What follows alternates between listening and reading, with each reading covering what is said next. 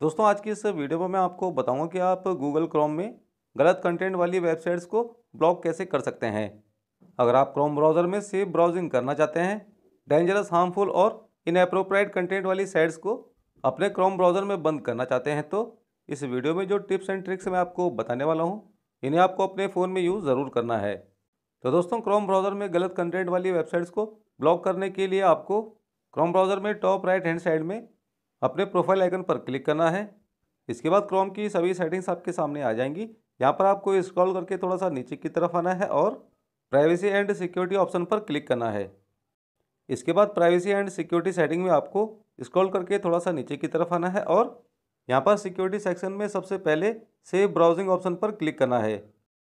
इसके बाद save browsing setting के अंदर ये तीन ऑप्शंस आपके सामने आएँगे।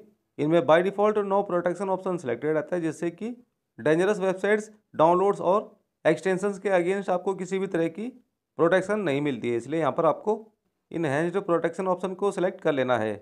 इस ऑप्शन को सिलेक्ट करने के बाद क्रोम ब्राउज़र में ब्राउजिंग करते टाइम आपको डेंजरस कंटेंट के अगेंस्ट रियल टाइम पर प्रोएक्टिव प्रोटेक्शन मिलेगी और आपकी ब्राउजिंग काफ़ी हद तक सेफ़ हो जाएगी।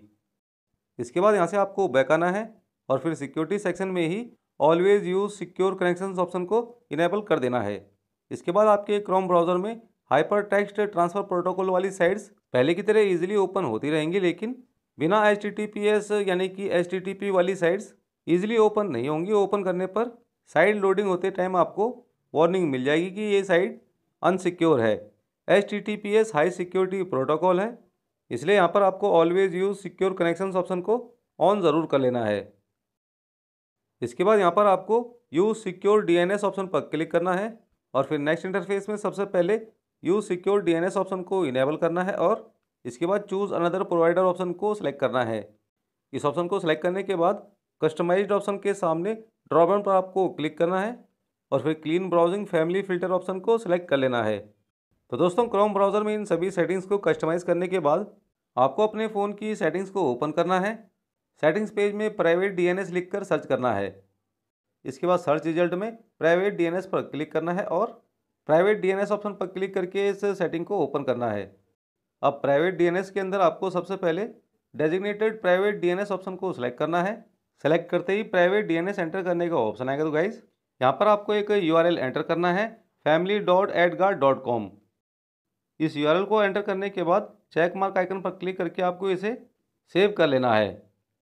इसके बाद आपके क्रोम ब्राउज़र में गलत कंटेंट वाली साइट्स ब्लॉक हो जाएँगी। यहाँ पर इस सेटिंग को कस्टमाइज़ करने के बाद कुछ लोगों को नेटवर्क की प्रॉब्लम हो सकती है, इसलिए वो सभी यहाँ पर ऑटो ऑप्शन को सिलेक्ट कर लीजिए। अदरवाइज़ इस सेटिंग को एज इट इज़ रहने दीजिए। तो इस वीडियो में बस इतना ही दोस्तों। आई होप आपको ये जानकारी हेल्पफुल लगी होगी। अगर वीडियो से आपको ज़रा भी हेल्प मिली हो तो इस वीडियो को लाइक कर देना शेयर कर देना और चैनल को सब्सक्राइब करना मत भूलना। तो मिलता हूँ आपको नेक्स्ट वीडियो में। तब तक के लिए जय हिंद।